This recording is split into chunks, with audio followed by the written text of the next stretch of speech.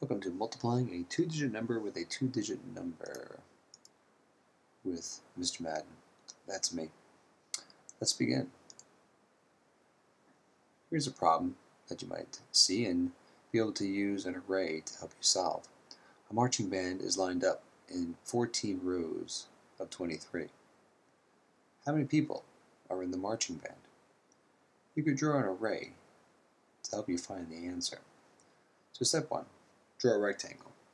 We're going to draw a rectangle that is have 14 rows and 23 columns.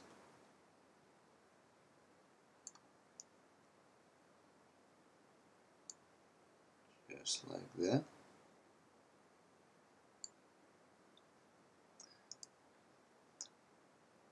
Next, we're going to divide the number of rows into tens and ones. So we're going to take the 14 rows, and we're going to think about dividing that into tens and ones. It's like taking the number and dividing it into expanded form. So 14 can be divided into 10 plus 4. So, in our rectangle, we're going to separate our rectangle into 10, the pen, 10, and,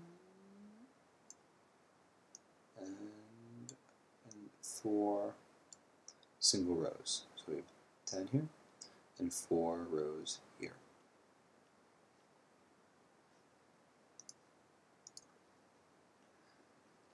Step two, next we're going to divide the columns into tens and ones.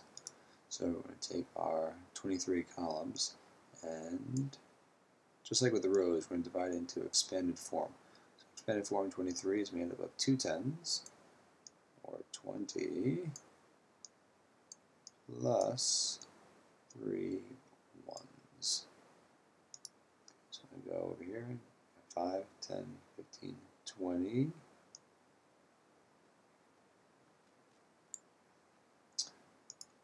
we have 20 columns, 20 marching band members, and 23 columns with marching band members.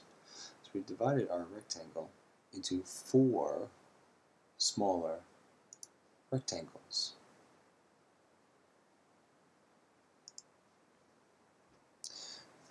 Step three, we're going to multiply and find the total in each smaller rectangle. So in this rectangle, we really have 10 rows of 20. So multiply 10, excuse my handwriting because I'm using the drawing tool with a mouse, time, 10 times 20, okay, which you should be able to multiply mentally. Okay, the basic fact is 1 times 2, which is 2 and you have two zeros in the factors. So add two zeros to our product for a total of 200 squares or 200 band members in this section of the array. Then we're going to multiply our four rows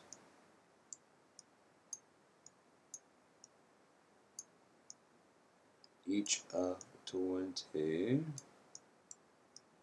which will equal 80 band members in this rectangle.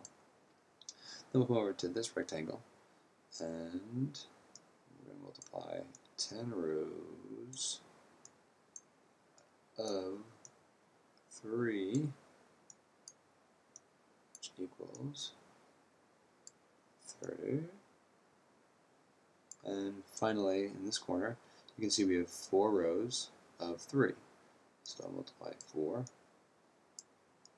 times 3, which equals, of course, another basic fact, 12.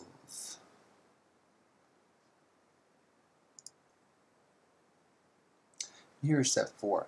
We're going to add the total of each smaller rectangle, which we could also call each smaller um, rectangle's total could be called a partial product. So we have, sorry, let me grab the pen here write it out. My not so neat handwriting. 200 and below we have 80 and then below that we had 30 and our smallest rectangle we had 12 squares. Plus sign. And letter ones column. Letter tens. 8 9 10 11 12 tens. Regroup the 100 to the hundreds place.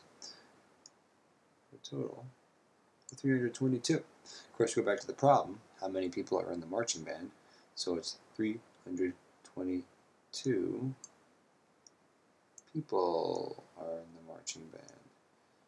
So you can see how drawing an array breaks your factors into smaller numbers, which should make it easier to multiply. And then you add all of the partial products to get your final product or the final answer. I hope that helps you, and good luck with your homework.